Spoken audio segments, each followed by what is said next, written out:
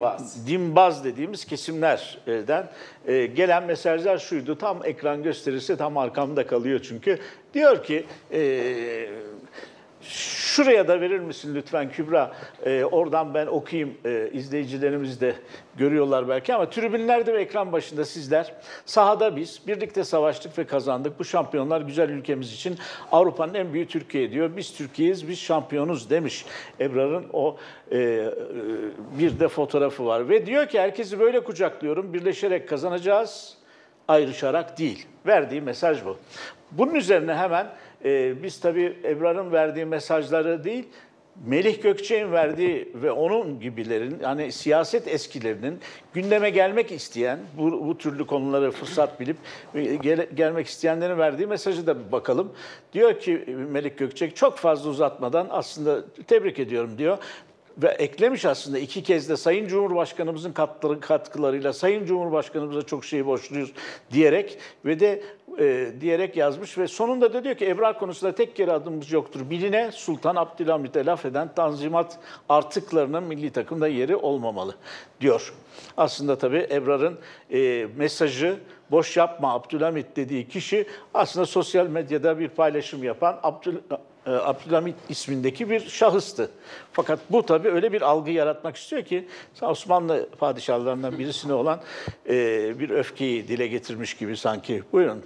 Ne düşünüyorsunuz? Neresinden başlayalım? Neresinden başlayalım? Neresinden başlayalım? Hatta bir de şu Beyoğlu Belediye Başkanı'nın e, paylaşımda göstereyim Daha da izleyicilere. genişletiyorsun Daha da genişletelim. açıyı. Bu ve buna benzer birçok kişi e, açıklama yaptı ama şu anda görsel olarak kullanabileceğim bir şekilde aslında önceden hazırlanmış olan afiş bu şekildeydi. E, 3 Eylül Pazar günü Türkiye Sırbistan maçı ve altta gördüğünüz Ebrar ve onun yanında galiba Hande vardı. Sonradan o afiş değişti. Sağ taraftakine geçti. Ebrar ve Hande yok olup gitti. Beyoğlu Belediyesi'nin paylaşımı da bu şekilde. Buyurun. Valla ilk söz şu olsun. Abdülhamit bugünleri görseydi bunlardan utanırdı. Ebrarlı da iftihar ederdi. Çok damardan girdim. Aslında o kadar çok şey var ki şimdi bu sizin e, sunduğunuz çerçeve ve Hülya Hanım'ın e, vurguladığı noktalar üzerinden bunların hepsini konuşsak yani herhalde sabaha kadar burada konuşuruz. Ancak satır başlarıyla konuşmak mümkün o açıdan. İlk satır başı bu. Abdülhamit bunları görseydi bunlardan utanırdı. Bu e, bizi de dünden bugüne hala heyecanlandıran e, başarıyla da gurur duyardı. Çünkü Abdülhamit'i de çok yanlış tanıyorlar. Abdülhamit'i işte dış politika e, cihazı olarak İslamcılığı, panislamizmi kullanması üzerinden yüceltiyorlar ama Abdülhamit son derece modern bir padişahtı. Abdülhamit opera dinlerdi. Abdülhamit tiyatroyu çok severdi. Abdülhamit gençliğinde son derece eğlenceli e, bir dünyanın içinde olmuştu. Abdülhamit bu memlekette özellikle eğitim sisteminde modernleşmenin, batılılaşmanın önünü açan bir padişahtı. Ee, kız meslek okulları kurmuş bir padişahtı. Onun İslamcılık üzerinden bugün son derece yanlış bir şekilde çarpıtılarak ve bu dimbaz dediğim benim çevrelerce e, sunulan, prezente edilen e, görüntüsü, imajı aslında gerçeği yansıtmamaktadır. O televizyonda izlediğimiz Abdülhamit dizileri de şu kelime şu şekilde özetlenebilir. Yoktur öyle Abdülhamit, vardır öyle Erdoğan. Aslında Erdoğan'ı sunmaktadır o diziler bize. Neyse çok uzatmayalım. Ne demiş Gökçek? Tanzimat artıkları. Utanır insan ya. Tanzimat'ın e, ilanı Abdülhamit'in babasının döneminde, Abdülmecit Abdülmecit. döneminde olan bir hadisedir. Dedesi 2. Mahmut, e, işte Türkiye'de belki Atatürk'e kadar gelecek olan sürecin önünü açan bir padişahtır. Yani bu insanları bu şekilde harcı alem laflarla kendilerince karalamaya çalışırken ayrıca tabii şey hiç vurgulamıyoruz. Yani oradaki Abdülhamit e, Sultan Abdülhamit'le ilgisi olmayan, hiç ilgisi olmayan bir Bir- troll. vatandaş, Yani bir troll. dua edelim ki Vatandaş. dua edelim ki Ebrar'a bu şekilde e, saldıran kişinin adı Tayyip değilmiş. Zeynel Bey. Herhalde Tayyip olsa ve Ebrar böylesi bir e, çirkinliği onun e, önüne sunan birine böyle esprili bir laf etse yapma, aslında herhalde. Ebrar'ın Ebrar'ın başına Gülşen'in başına yelen gelecekti bu memlekette. Tayyip adını kullandığı için. Yani bir taraftan komik yani trajikomik bir tablo var ortada. Olay nedir bizim yaşadığımız? Bizim yaşadığımız olay yine satır başları. 8. yüzyılda biraz milliyetçi duyarlılıklara seslenelim mi? Seslenelim. 8. yüzyılda Göktürk abidelerinin tarihteki yeri neyse bugün bu başarının tarihteki yeri o olacaktır. Bir kere milliyetçi zihinler, milliyetçi kafalar, milliyetçi takıntıyla hareket eden insanlar bunu düşünsünler, bunun üzerinde dursunlar. Melih Gökçe'nin ya da işte bu sözünü ettiğiniz isimlerin Türkiye'ye katkısı, Türkiye'nin e, tanıtımına katkısı e, acaba Ebrar'la kıyaslandığında ya da Vargas'la kıyaslandığında nedir? Yani bu kadar bu sözleri sarf ediyorsunuz. Ben eminim ki e, Hülya Hanım da vurguladı. Bugün biz Ankara sokaklarında Ebrar'la Melih Gökçe'yi yan yana çıkaralım. Hem de en muhafazakar muhitlerde çıkaralım isterseniz. Bakalım kim nasıl bir karşılık alıyor, kim nasıl bir destek görüyor.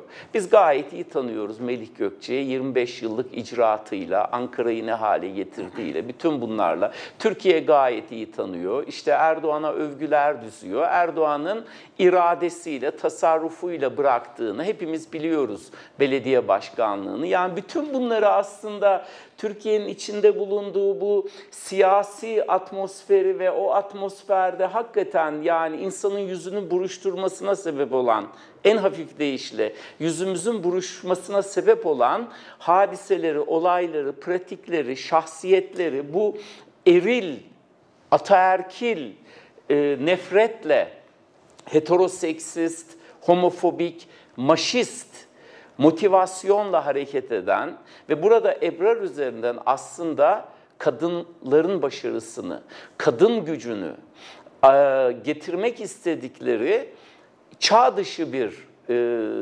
düzen açısından tehdit gören gencecik kız çocuklarının 6 yaşında evlendirilen ya da işte e, bir takım vakıf yurtlarında tacize uğrayan kızlı erkekli çocukların bu kadınları görüp bunları model almasından korktukları için Sırbistan kazansın bile diye çaba harcadılar. Tıpkı işte keşke Yunan kazansaydı diyenler gibi.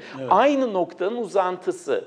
Bu o açıdan ne olur yanlış anlaşılmasın. Türkiye'nin dindar muhafazakarlarının da ben bu başarının arkasında olduklarından eminim.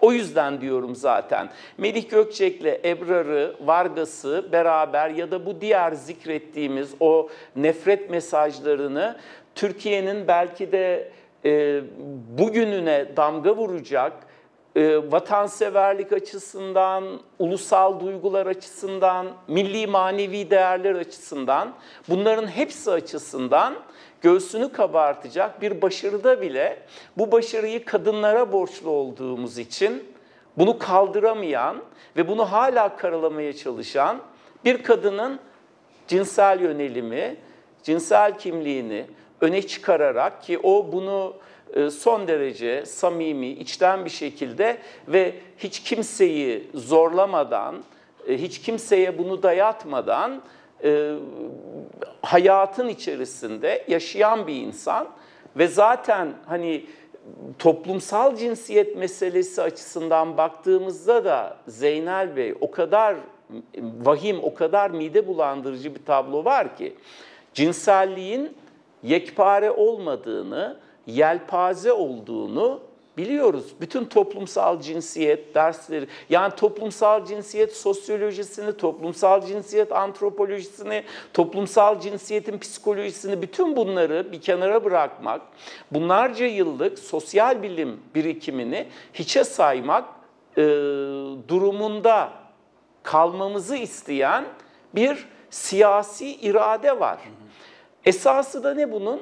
Seçimler. Seçimlerin alma yolunda LGBTİ kimliği Sonuna cadılaştırarak, LGBTİ kimliğin üzerine giderek kendilerince belli bir işte kitleye yönelik o, o şeyde e, Katolik Kilisesi'nin cadılara karşı başlattığı bir e, cadı avlarını, cadı katliamlarını andırır şekilde ki orada da zaten Katolisizm kendi iktidarını korumak için bunu yapmıştır. Bunlar da kendi iktidarlarını korumak için LGBTİ bireyleri e, işte sapık diyerek, hasta diyerek, ağza alınmayacak sözlerle büyük insanlık suçu işleyerek kendilerince o seçim sürecinden çıktılar. O kadar büyük bir vebal altındalar Şu ki anda belki bunun özelinde Ebrar tekrar bunlara devam ediyorlar. Ebrar bütün bunlara ders verdi. Ebrar bütün bunlara Hülya Hanım da vurguladı. Buradan çıkacak sonuç baktığımız zaman çok önemli bir dönüm noktası olacaktır. Aslında Türkiye ve Türkiye'nin demokratikleşmekten yana, bireysel özgürlüklerden yana, seküler yaşam biçiminden yana olan çoğunluğu açısından seçimlerin yarattığı travmadan çıkma yolunda da bu sportif başarının çok önemli bir dönüm noktası olacağını burada iddialı bir şekilde söylemek isterim. Burada hani biz sportif başarıyı çok e, politize ettiğimiz düşünülebilir ama bunu biz yapmadık. Bunu yapanlar sizin biraz önce sözünü ettiğiniz e, şahsiyetler. Eril, ataerkil, dimbaz, taassubun hepimize e, e, müessif bir e, görüntü olarak karşımızda duran esef verici e, pratisyenleri. E bunun karşısında da filenin sultanları demiyoruz, filenin muhteşem kadınları diyoruz. Filenin muhteşem kadınları çok büyük bir ders verdiler. O inen smaç, Vargas'ın o inen smaçı sadece şeye düşmedi. Sırbistan takımının sahasına düşmedi.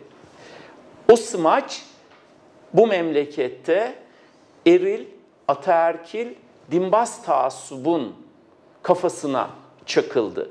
O yüzden de şimdi durumu kurtarmak için saçma sapan mesajlarla hala e, diretiyorlar bir taraftan.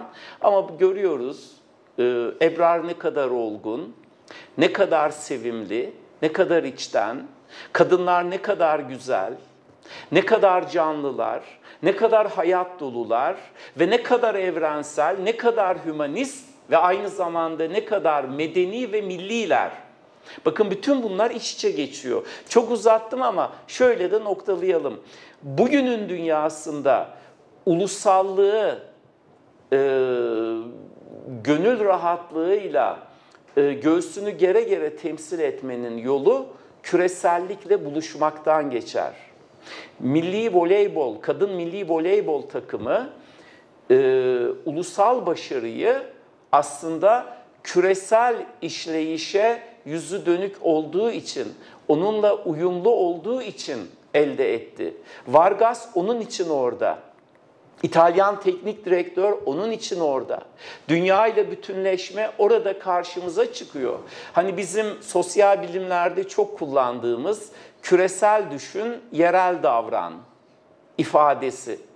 Milli takım küresel düşündü, ulusal davrandı. O yüzden de işte o son noktada Ebrar'ı keşke verse de arkadaşlarımız bir de onun üzerine konuşsak. İstiklal Marşı okunurkenki hali Ağladım. küreselle ulusalın nasıl buluştuğunu hepimizin göğsünü kabartacak bir şekilde ve bu memleketin kurtuluşunun kadın gücünden geçeceğini düşündürecek şekilde örnekledi.